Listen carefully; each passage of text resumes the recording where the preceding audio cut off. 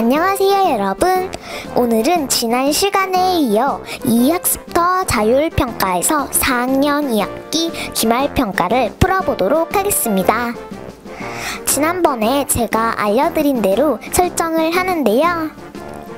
보통 선생님들께서 20문제를 만드신다면 어려운 문제 2문제, 보통 문제 10문제, 쉬운 문제 8문제 정도의 난이도를 낸다고 하시니 이 점 참고하세요. 오늘은 푸는 과정을 보여드리기 위해서 문제를 프린트해서 풀어보도록 할게요. 유튜버인 저 뿌랑이는 과연 몇 점을 받을 수 있을까요? 그럼 시작해볼게요. 고고싱!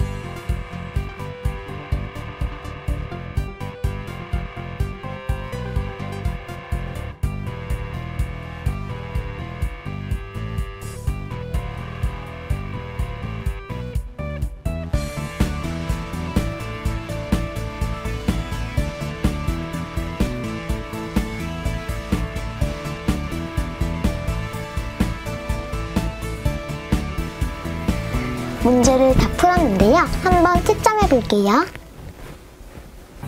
아, 그럼 1번부터 볼까? 정답 3번. 3번 정답.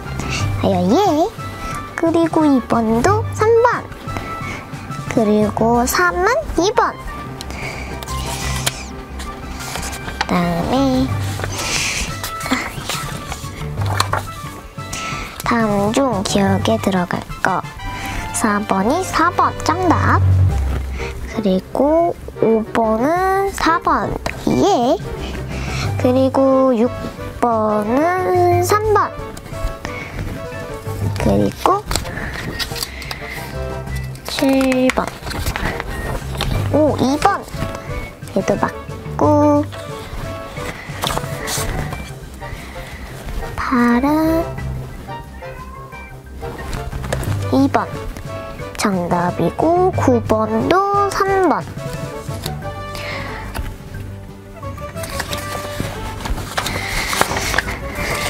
그 다음에 10번 4번. 이것도 맞고 11번은 1번. 또 맞고 12번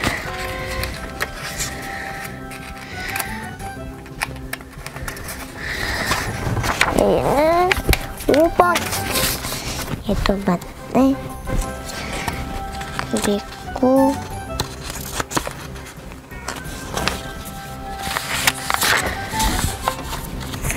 십사 아 틀렸다. 어쩐지 어렵더라니. 그리고 14는 4번. 그리고 15번은 2번 16은 5번. 17은 4번. 18은 3, 3번인데 얘 틀렸네. 19 얘는 2번. 그리고 26.25 맞았다.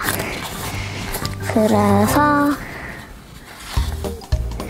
답지에서 13번 문제가 오류가 있어서 정답이었는데 틀렸다고 했어요.